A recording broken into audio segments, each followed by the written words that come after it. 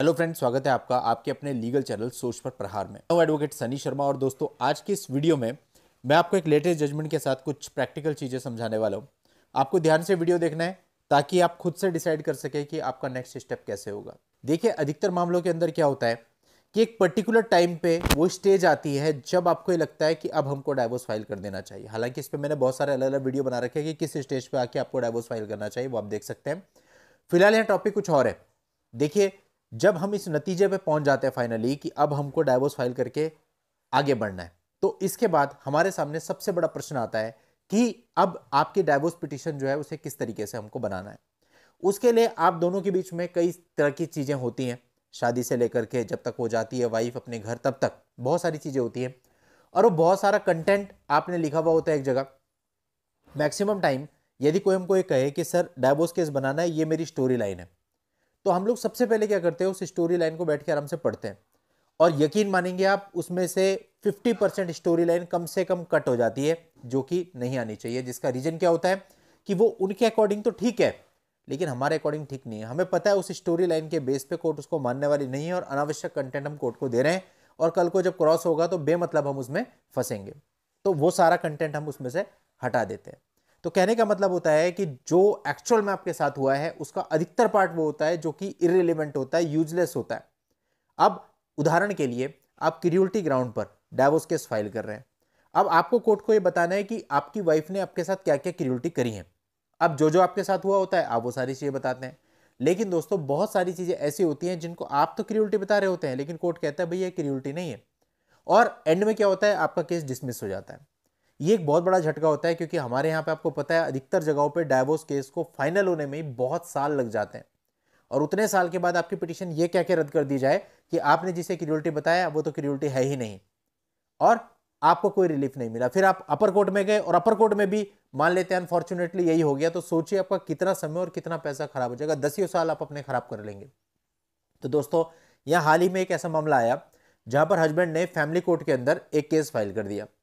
उस केस के अंदर उन्होंने बताया कि वाइफ ने उनके साथ क्रियोलिटी करी यानी क्रियोलिटी ग्राउंड पर ही उन्होंने डाइवोर्स का केस फ़ाइल किया।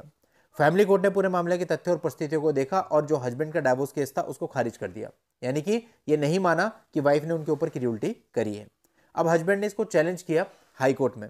जब हस्बैंड हाईकोर्ट में गए तो हाईकोर्ट ने अब पूरे मामले के तथ्य और परिस्थितियों को देखना था। तो हाईकोर्ट ने जब पूरे मामले के तथ्य और परिस्थितियों को देखा तो हाईकोर्ट ने कहा कि भाई हस्बैंड ये बता रहा है कि जो वाइफ थी, वो घर के काम नहीं करती थी। यानी घरेलू कामकाज हाउस होल्ड कुछ भी नहीं करती थी ऐसा, गृहस्थी के काम कुछ नहीं करती थी और इस वजह से उसने उसके ऊपर क्रियोलिटी करी है। तो यहाँ पर हाईकोर्ट ने यह कहा कि घर गृहस्थी के काम ना करना, अगर आप अपनी वाइफ के ऊपर ये आरोप लगा रहे हैं तो केवल इतना आरोप क्रियोलिटी को साबित करने के लिए सक्षम नहीं है। और अधिकतर मैंने देखा है, अधिकतर केसेज में लोग इस बात को ज़्यादा हाईलाइट करते हैं कि वो घर के काम नहीं करती थी। लेकिन ये उस लेवल की क्रियोलिटी नहीं है कि जिस लेवल पे आपको डाइवोर्स मिल जाए, ऐसा कोर्ट ने यहाँ पर माना। और यहाँ पर कोर्ट ने फिर से हस्बैंड की प्लेयर जो है, वो डिसमिस कर दी।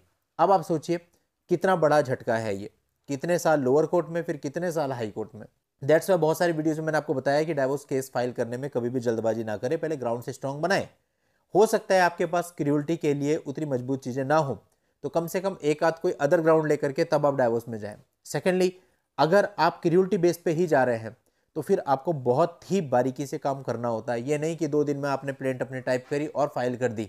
उससे आपके बहुत समय और बहुत सारा पैसा आपका खराब हो सकता है और उसके बाद आदमी हिम्मत भी नहीं करता फिर दोबारा से डाइवोर्स फ़ाइल करने की। तो इसलिए दिक्कत हो जाएगी आपको।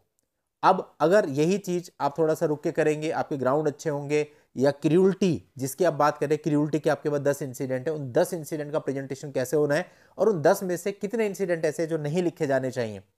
वो सारी चीज़ें मैटर करती हैं। यानी इन शॉर्ट अगर हम एक लाइन में कंक्लूड करें इसे तो ये कह सकते हैं आप कि आपका डाइवोर्स केस कैसे फ्रेम हुआ है। इस बात पे डिपेंड करता है बहुत हद तक कि आपको डाइवोर्स मिलेगा या नहीं मिलेगा। अगर कोर्ट में आप अपनी पिटिशन ही सही तरीके से नहीं लेकर के आ रहे हैं तो आगे जा करके आपको बहुत नुकसान हो सकता है। तो आपको डाइवोर्स केस में कभी भी जल्दबाजी नहीं करनी है। अगर आप ऐसी स्टेज पर खड़े हैं जहाँ आपको लगता है अभी डाइवोर्स फ़ाइल करना चाहिए, आपको लीगल एडवाइस भी ऐसी मिल रही है कि आपको डाइवोर्स केस फ़ाइल करना चाहिए देन फ़र्स्ट ऑफ़ ऑल आपको इस पर वर्किंग करनी चाहिए। वर्किंग में आप टाइम लीजिए, एक महीने का टाइम लीजिए, बीस दिन का टाइम लीजिए, दो महीने का टाइम लीजिए, लेकिन उसके बाद जब आप पूर्ण रूप से सेटिस्फाई हो जाएँ, तभी आपको केस फ़ाइल करना है। जल्दबाजी में बिल्कुल भी नहीं करना है। चलिए दोस्तों, आज के स्टूडियो में इतना ही। नेक्स्ट वीडियो में नई जानकारी के साथ मैं आपसे फिर मिलता हूँ। तब तक के लिए goodbye thank you for watching take care